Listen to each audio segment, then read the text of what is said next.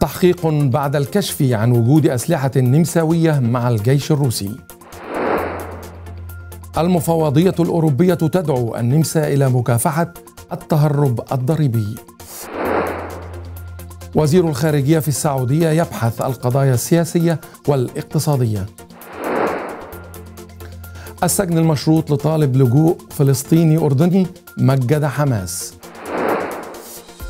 ومحامية تطالب باعتذار وزير الداخلية بعد إهانتها في مظاهرة لفلسطين. وأخيرا الخط الساخن يتلقى 116 اتصالا حول أطفال مفقودين في النمسا.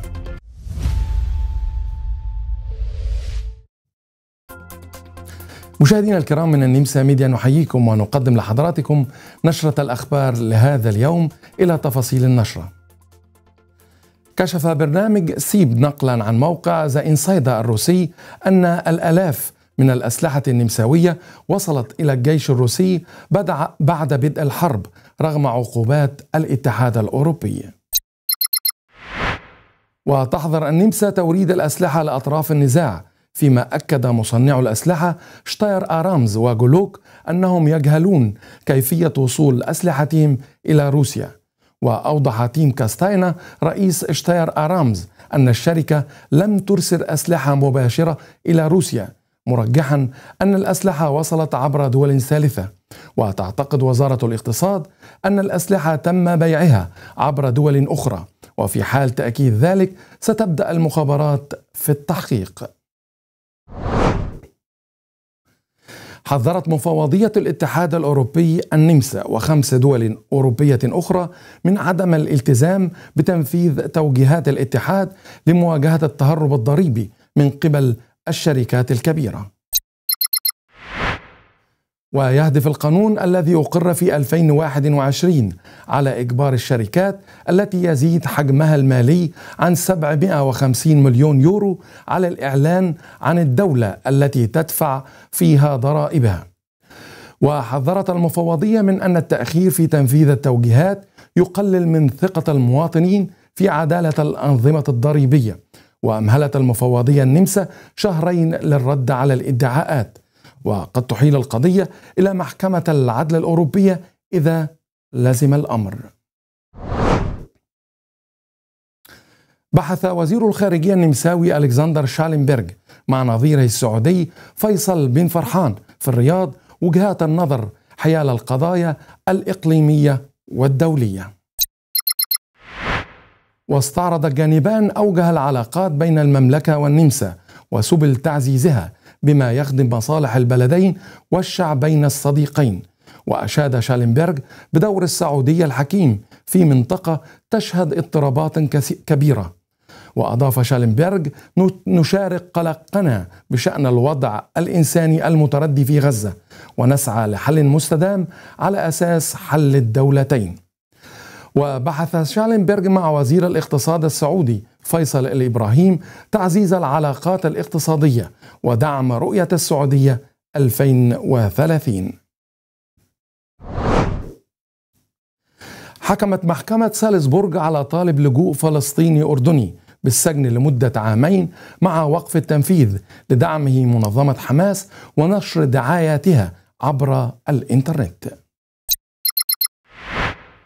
ونفى الرجل دوره وأكد عدم تأييده للهجمات الإرهابية مشيرا إلى عدم قراءته للتعليقات المؤيدة لتدبير إسرائيل.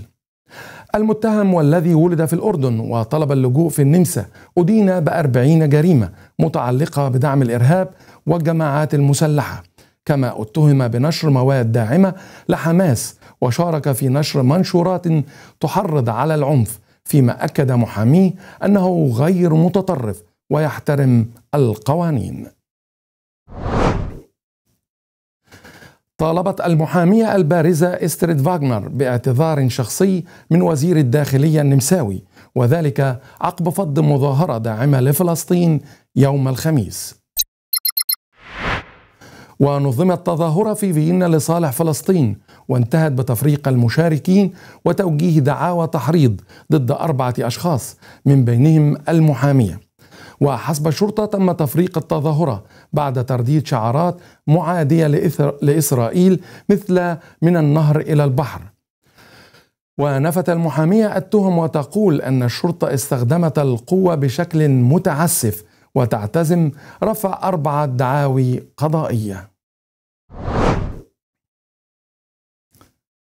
تلقى الخط الساخن رات أفدرات للأطفال المفقودين في النمسا على الرقم 116116 اتصالا في العام الماضي بشأن حالات متعددة.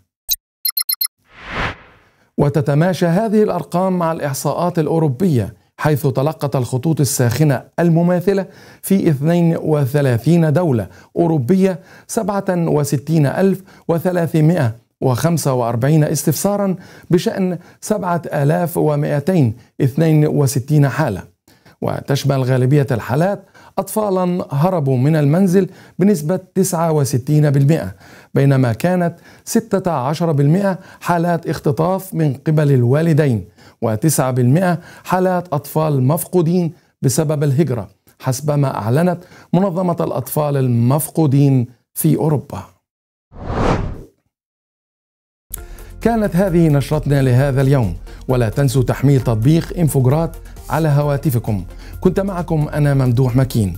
أمسية سعيدة ونهاية أسبوع سعيدة وإلى اللقاء.